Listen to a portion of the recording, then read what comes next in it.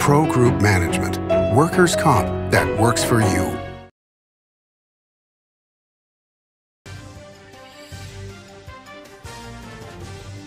Welcome to Nevada Newsmakers on the broadcast today. State Senator James Settelmeyer joins us. He's here for the whole show on an all new Nevada Newsmakers. Nevada is suffering because of reckless Washington spending. Senator Catherine Cortez Masto voted to allow hundreds of millions of dollars of COVID relief funds to be wasted on frivolous projects not in Nevada. A luxury resort in Florida, soccer stadium in New Jersey, skiing in Iowa, a poet in Connecticut, French operas in Washington, D.C. We need help in Nevada, not silly spending in other states. Tell Senator Cortez Masto to start voting against wasteful spending to stop inflation. Modern boutique Ahern Hotel and Events Center in Las Vegas. Host meetings and events on two floors. Stay in luxurious rooms and suites. Unlimited branding opportunities. Regional Italian cuisine by Chef Mark Segrisi. Flexible event spaces. Full buyout options. Visit ahernhotel.com today. I'm here at the Carson Valley Inn in Minden with Joey Whitaker. Entertainment here at the Carson Valley Inn is extraordinary. Yeah, super proud of the TJ's Corral, our outdoor venue, about 1,500 seats. We've had first class entertainment out there. We've had Merle Haggard, we've had Chris Young, we've had Lee Brice a couple times, we've had Pat Benatar, Joan Jett, who's in the Hall of Fame. Uh, we're real proud out there, and it's, and it's just a great time. Watch CarsonValleyInn.com and grab those tickets early. It's not a long way to get away to the Carson Valley Inn. Pro Group Management offers workers' comp services to a growing number of industries. As businesses grow and change with the times, the need for a solid workers' comp program must be flexible and up to date. The evolving nature of regulations can make staying ahead of complex tasks challenging. But Pro Group Management simplifies the work so your industry can move forward and succeed. Pro Group Management, workers' comp that works for you. This is Nevada Newsmakers with host Sam Shad, a no holds barred political forum. Now, from the Nevada Newsmakers broadcast headquarters, here is Sam Shad. And back on Nevada Newsmakers, we are always pleased to welcome back to the program State Senator James Settelmeyer of District 17. Pleasure to have you back, sir. Always a pleasure to be here, Sam. Thank you. So, uh, this past weekend, as we're taping this, uh, was the uh, Basque Fry uh, out at Corley Ranch. What can you tell us from what you saw there? Good turnout, good enthusiasm. Uh, it's great to see individuals worried about trying to help turn the course of kind of how the state and how the nation's going. So fascinating speeches from individuals, of course, as always, and particularly I thought it was a really good speech by uh, Kristi Noem of South Dakota. I just got done listening. What was her message? She just talked about how you know we need to make sure that we allow people to work, and you know she was the only state in the union that during COVID said, you know what, I'm not going to declare winners and losers. I'm not going to get into this discussion of whether or not you're essential or non-essential, because if you're essential on tax day, then you're essential every day. And if you look at Nevada, you know when we're talking about who could be open, who couldn't be open, it was interesting who became essential and who was non-essential. But then all of a sudden, if there was a government program, they didn't use the same list. So you had, you know, individuals in the retail association, you know, such as, you know, supermarkets and stuff like that. Well, they're essential. And educators were deemed non-essential. So they were told to stay home. But then if resources came out, they went to education first, not to those industries that we declared essential the first time. And I just think that's a little bit sad. Um, did she also have a message of bringing the party together? Correct. She tends to be on some issues a little bit more moderate uh, than some individuals, but you know, it's about, you go back to the Reagan concept, it's a big tent. You know, there's room for everybody in there, and let's have discussions and do what's best. Or as uh, Congressman Amodei always says, you know, the intramurals are over. Now we've done our bit, now let's, you know, unify, and there's room for everybody in the tent. And do you feel that the party is uh, becoming more unified? Because um, in the last week, uh, you had Amy Tarkanian's uh, nominations for uh, offices for Democrats. Um, your thoughts on that? You know, what's interesting to me with that one is if you look at it, uh, recently, the, I think the Douglas County Republican Central Committee actually kicked her out of Right. the Central Committee. And They- Danny. And Danny as well. And if you look at it, it's fascinating to me that it- it's kind of like uh, one of my former colleagues I worked with, Roberson. You know, he endorsed uh, somebody for you know attorney general. He went with the incumbent, which is fascinating because in the primary he was completely for Tisha Black. So it's kind of interesting to me when their person loses the race, then all of a sudden magically they went to the incumbent. But if their person would have won the race, would they have not done that? And in the case with Tarkanians, I tend to see a little bit of a pattern that if somebody's opponent endorsed Congressman Amodei over Mr. Tarkanian, magically now they're endorsing their opponent. All right, so let me ask you this. Because, um, uh, to be honest, you, you and I are friends, and you're one of the smartest people that's come along in a long time in that legislative building. I'm worried you're buttering me up there. No, no, because I'm, I'm sad that, that your term is coming to an end, and I don't know what you're going to do for the public uh, next. Um, but you, you deserve a personal life for a while, so I'm, I'm, I'm happy for you there. Um, but, you know, should people be thinking straight party line ticket voting, or should they be looking at the individuals and deciding who makes the most sense for that office at that time? I always believe that people should be looking at who they feel is the best candidate overall for that particular office. But I think they also have to take a look nowadays at how that person performs within their own party. So if they're beholden to their party 100% and they do pathologically partisan stuff because the party tells them to, it doesn't matter what they say, it matters what they do. You know, I look at Catherine Cortez Masto you, talk to her one on one, great lady. But then you look at some of the things she's done, where she went after Brian Krolicki that time. No, you did a political vendetta against somebody. And it kind of shows that you're willing to go along with the agenda that is put forth from the national. And it's difficult to stand up against your own party. I've done it before. It's not fun. But you have to do what's best for the citizens of the state of Nevada as a whole. And a lot of times, that's not national politics. Um, it's kind of interesting. You're the first person to have raised the Brian Krolicki situation in a long time on this program. And it's been fascinating to watch um, Senator Masto, um, especially going out into rural Nevada and making a lot of friends out there. Mm-hmm. She's, her office has been very uh, instrumental in working with some of the rural counties on rural issues. And so when you have a good office staff, that works out. But again, I, I go back to the double standard that occurred with Brian Krolicki, and you can even go to this uh, issue with Morse Arberry when he got in trouble. There was a Jon Ralston article I just read a while ago. You know, it was in my file from years ago when she prosecuted that case, and he basically got a slap on the hand for embezzling hundreds of thousands of dollars of campaign resources, but no serious penalty. So it seems rather problematic to have two sets of standards depending on who you're going against. Well, and that is politics. As, the, as they say, politics ain't beanbag. You know, and I understand that, but when she was the Attorney General, I don't think the Attorney General's office should be about politics. It should be about the law. And that's what bothers me. Uh, that's why me and Mr. Ford don't get along.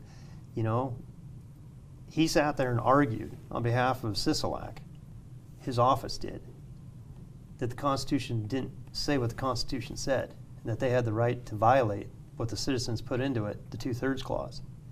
Now, I unanimously won that victory against the Nevada at the Nevada Supreme Court against Sisolak and the Attorney General's office. And this was the Ford's this office. was the two-thirds uh, for the taxes. Correct.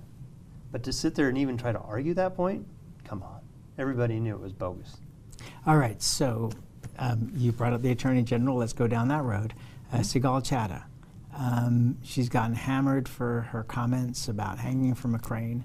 Um, your thoughts on that, on, on her candidacy, and uh, Republicans uh, for Ford? You know, and I look at Republicans for Ford. I know that Mr. Roberson, you know, again, he was a friend of, he's a friend of mine. We've talked, you know, uh, former leader of the Senate Republicans, and I'm the current leader of the Senate Republicans. I feel that he was very much in favor of Tisha Black in the primary and his friend lost in the primary, and now he's for Ford. Uh, as far as I'd like to see a matchup, I'd like to have a debate so that people can make their own opinions between Ford and between Sigal and figure out what they want to do. Um, he is adamant that that's not going to happen. Of course. And uh, most incumbents never want to have a debate. And so anything they can utilize as a reason to not have that debate, they will. You know, and this goes back in my memory uh, to Barbara Vucanovich uh, when she was the lone congresswoman, and Andy Barbano was running against her. Who, um, even though he's a Democrat, he ran, ran Randolph Townsend's original campaigns um, for the Senate, and um, uh, before uh, Randolph became a Republican. And um, I, I think Andy said something to the effect of, you know, Tuesday follows Monday, and Barbara said, "That's it, we're not debating." so it was any, like you said, it was any excuse not to debate.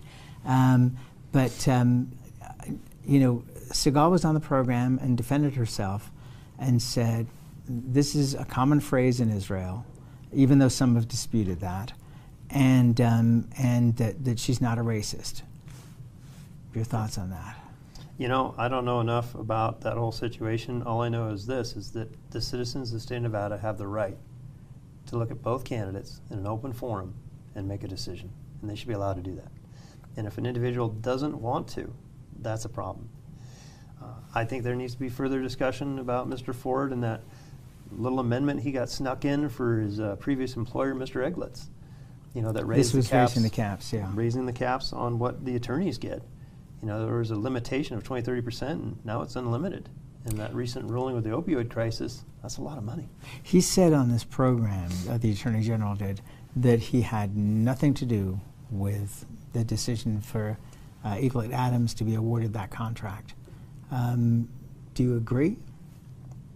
I think the Attorney General's office has the way to sway which way that decision goes. I understand he's saying he had no involvement, but when you have certain types of cases, they will naturally go to certain individuals that tend to have expertise in those fields, which happen to be his friends. Now, does that make it a bad thing? When you have, the, When, when if they have the expertise that you're referring to? and that probably makes sense, but not once you give them unlimited attorney fees, basically. That's wrong. All right, we have much more. We'll be right back with State Senator James Settelmeyer after this timeout.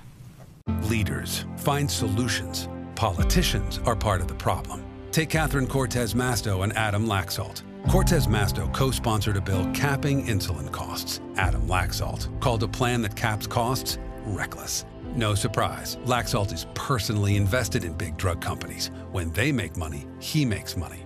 That's the difference. Catherine Cortez Masto is lowering the cost of drugs. Adam Laxalt sells out and cashes in. SMP is responsible for the content of this ad. As you know, Reno is booming.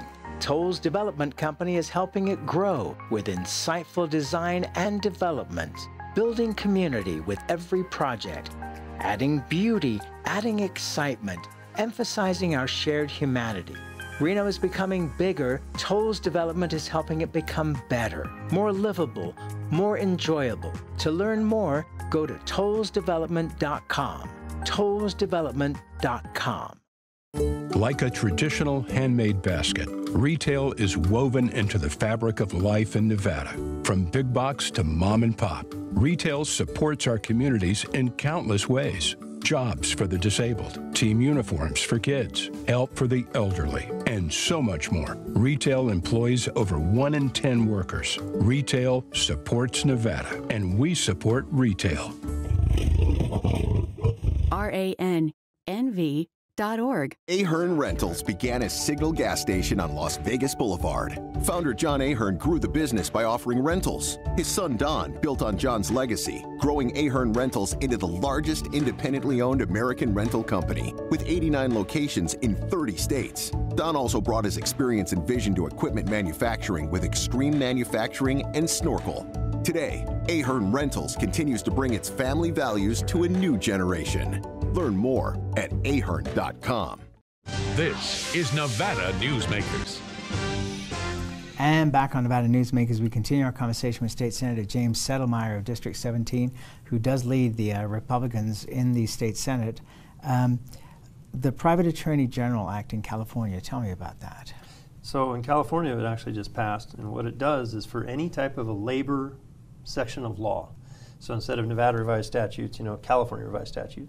So any section that is in existence that has anything to do with labor, a person can sue as basically a public member of the Attorney General's office on that section of law. And that's going to create so many lawsuits, it's not even going to be funny. And my real argument there is it's not fair because it's only dealing with labor law. So if it was property rights also, or any other, you know, it should be across the board to me.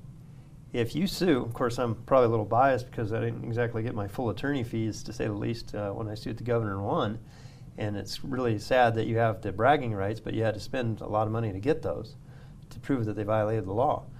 But again, in, in California, it's only for labor laws.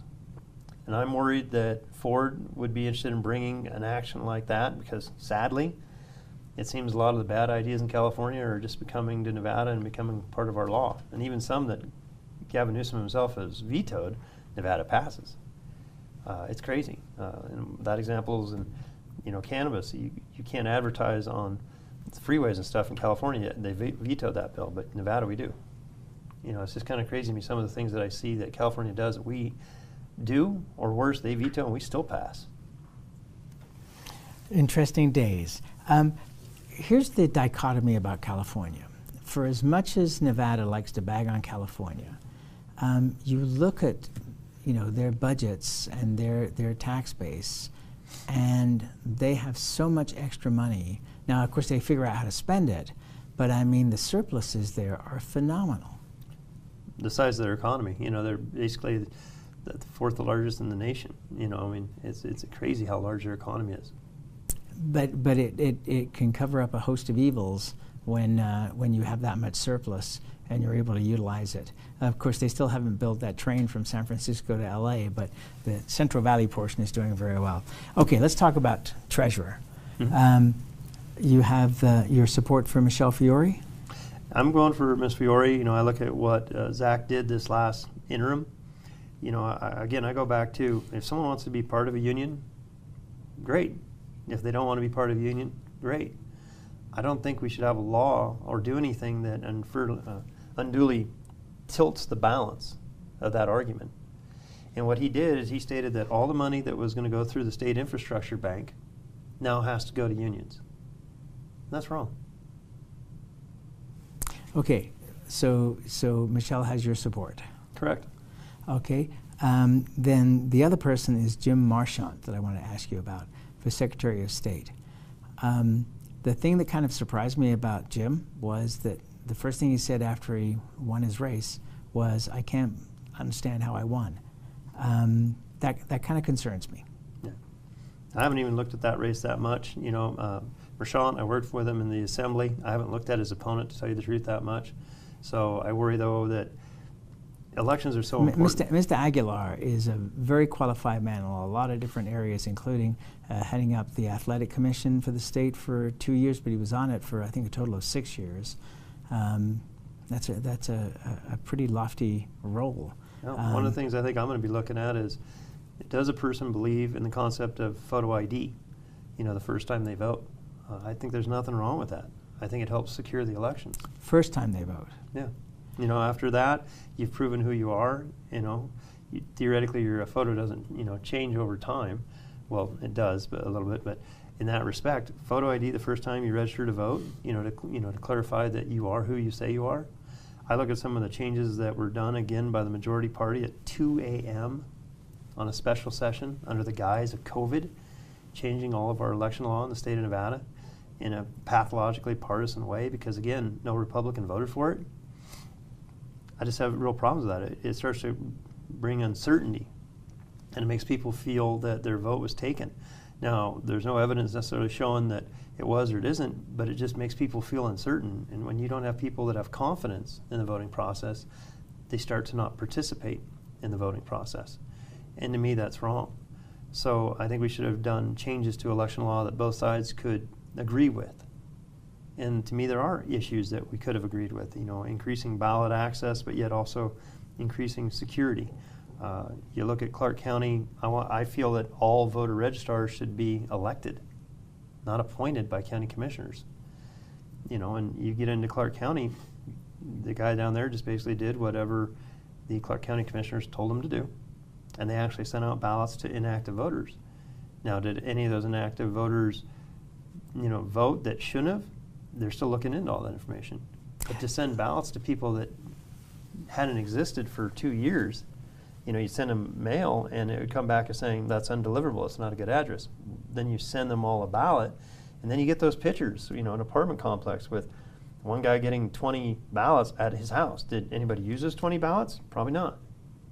But it doesn't give people faith in the process. Okay, and, and you know, uh, regular viewers and listeners to this program know that I've said on this program many times that I am totally in favor. Um, I'm not a person who wants to see my taxes increase, but I'm totally in favor of uh, putting in a few dollars extra to make sure that everybody that doesn't have an ID mm -hmm. can get an ID for free if they can't afford it.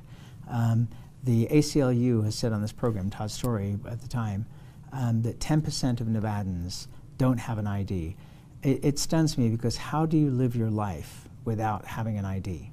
Yeah, and the other states that have passed it show that there was actually a statistic that that entity likes to put out 10%. In the states that have gone to photo ID, they actually showed it was only 1.5% to 2% of the people out there that would vote, you know, did not have an ID. Uh, when I put forth a bill, I looked at it in the state of Nevada, and I thought at first the simple thing was to just give everybody an ID card through the DMV. But then a very valid argument came that many people don't live within 60 miles of a DMV. And I had to start thinking about that because way back at the time, Douglas County had a DMV office. Well, if you take that one out, then all of a sudden you're to Yerington, and if you're out in the middle of Tonopah or you're out in the middle of White Pine, you're too far away. So how do we make sure that someone has access to get an ID? And the simple answer is, is you accept all forms of federal IDs.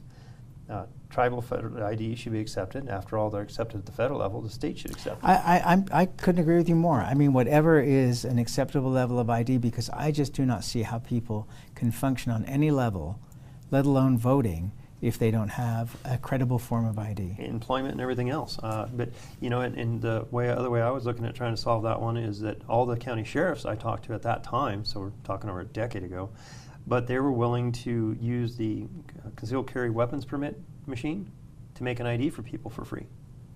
And that would actually bring the cost down from doing it through the state for like five to eight dollars to a buck twenty.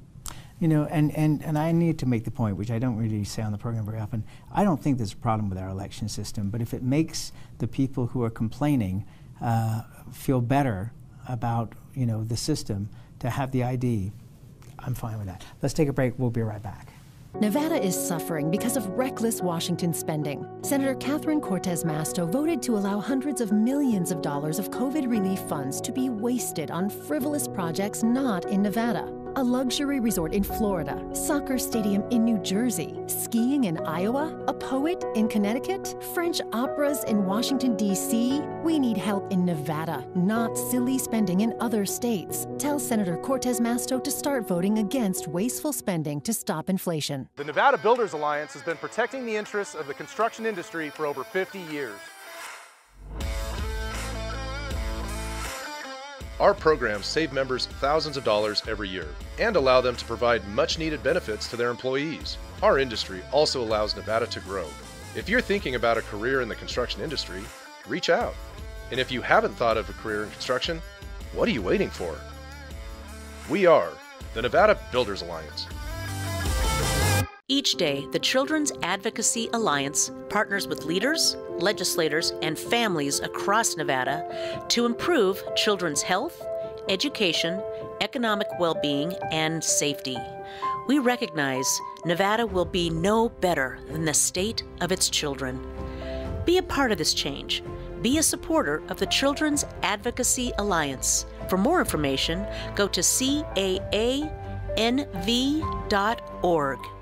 Southwest Specialties has been making the homes and businesses of Nevada beautiful for more than 20 years. Their experienced designers and craftsmen create the walkways, backyards, water features, and a variety of outdoor cooking areas that add curb appeal and value to your investment. Call today or visit them at their website and see how they can make your outdoor spaces special. Southwest Specialties, creative, distinctive, beautiful. This is Nevada Newsmakers. And back on Nevada Newsmakers, we continue our conversation with State Senator James Settelmeyer of District 17. So, who's in the running for your job next session? Oh, as far as leadership for the Senate Republicans, Mhm. you know, there are several individuals that are, are looking at it. It's just going to come down to, you know, who does the most to increase the size of the caucus. I think that's going to be the true question and who the caucus decides to vote for. Uh, generally, people who are leaving don't necessarily get very involved in, you know, trying to pick who their replacement is. So it really comes down to those new people that are coming in. They're the ones that are going to make that decision. Uh, if you have enough numbers where the Senate Republicans gain enough seats, I think it's pretty obvious to say that it will probably lean more towards somebody from the South because that's where all the seats are going to be. If for some reason the Senate Republicans go down in numbers, well, then it might lean more towards a Northern leadership because, again, those are where the votes are going to be. Um, from all the private polling I'm hearing about at this point, seems like the red wave is not likely to happen.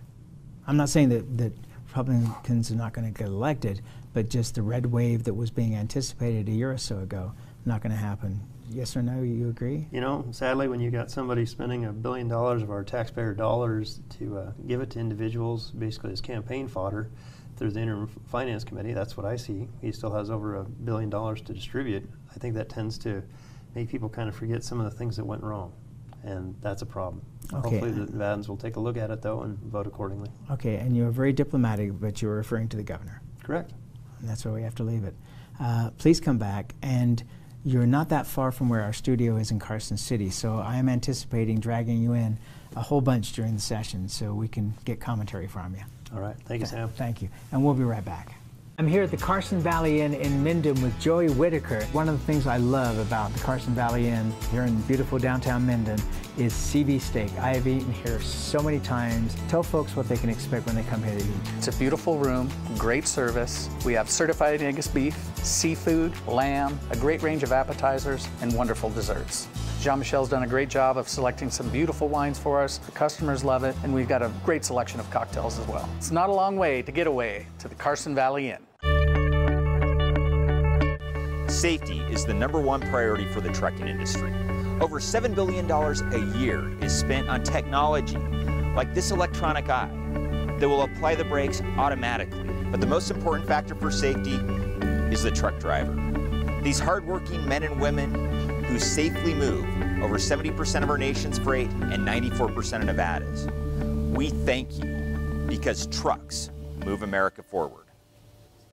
Your good times are at Tamarack Casino. All new DC Cafe and Bar, serving breakfast, lunch, and dinner. Your good times at Tamarack. Your good times are at Tamarack Casino. Nevada Newsmaker Studio is located at the headquarters of the Nevada Trucking Association. Motion and purpose are a truck's greatest virtue.